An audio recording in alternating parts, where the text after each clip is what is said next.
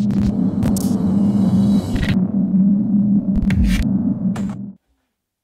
guys and welcome back. This is going to be a really quick video. Um, I don't usually do unboxings but I'm going to do an unboxing because this is going to take three videos. So I'm going to do the unboxing of what's in the box. If you follow me on Twitter you'll know what it is. Um, and then the next video will be set up and the technology and how it works, how to get the best out of it. And the third one will hopefully be me actually playing it. So, what's in the big box? Out. I waited in all day today. It was really dull, but it finally arrived. And hopefully, if I can't don't cut myself, it was worth the wait. Get rid of all this. Wow. Oh, there's a box inside the box. Very eco-friendly. Turn that round. Don't need to know where I live. Uh, right. It's fragile. Actually, a bit smaller than I thought it was going to be. Wow. Even more packaging. Wow. Really well packaged.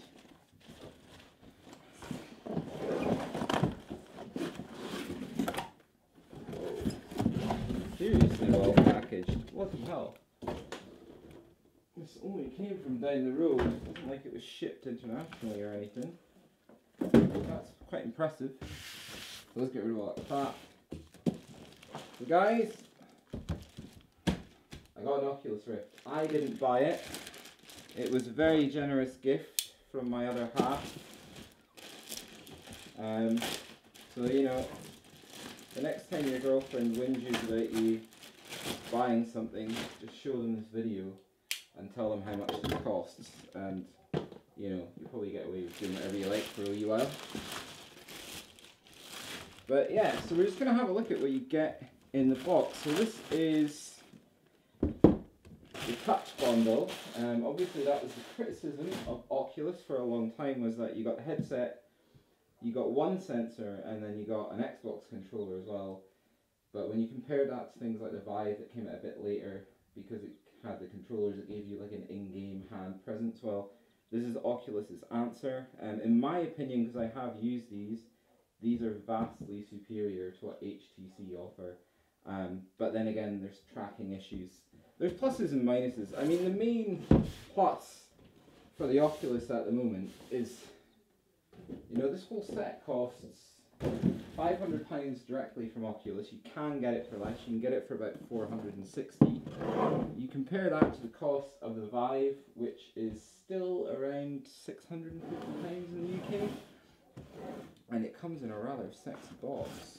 Okay guys, so we've zoomed in a bit, and this is what you get in the box. You get a really sexy box.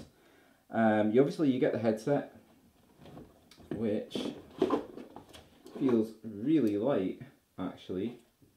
Very, very light. Looks like it comes with a reasonable length cable. The other thing I like about the Oculus is that you get the included headphones. You don't have to wear headphones, and these are actually very good by all accounts from what I've heard about reviews. It's also a bit lighter than the Vive from when I remember using the Vive.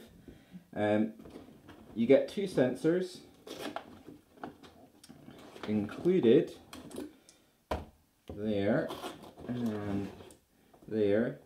Now the good thing about these is you can, uh, probably not going to be able to demonstrate it, but these unscrew and they're G quarter 20 fittings, so the same as a hot shoe and a camera, so you can mount these up high which is what I will be doing when I get a third sensor for a 360 play. You get some gubbins, don't know what comes in here, probably some like crap from Oculus. Yes it is. Alright, okay, it's batteries and a remote control. That's cool. Look at that later. Then you get these. These are the little controller units for in-hand presence and I can tell you they feel absolutely amazing in your hands. I've used these, I've demoed them. These are great. Um, this is all capacitive, so no matter where your hands are, the Oculus knows where your fingers are in volumetric space. So much better than what HTC offer at the moment. But again, they'll catch up. And that's it, guys. That's pretty much everything you get in the box. Um, so all I need to do now is set all this stuff up and start using it, start testing it, and then I'll give you a video on how this actually uses the sensors to measure where you are in volumetric space and then the best setup for you, whether it's in 180 or normal play, which Oculus call it, or 270 degrees, which is a slightly kind of extended range you can do with two sensors, or the full 360, which you need a third sensor for, which I will be buying very shortly, I imagine, as soon as I can find one for less than 130 pounds is what they're going for on eBay at the moment, which is ridiculous. So yeah guys, that's it. That's the unboxing of the Oculus Rift. Um, it's great, and I'll see you later. Bye.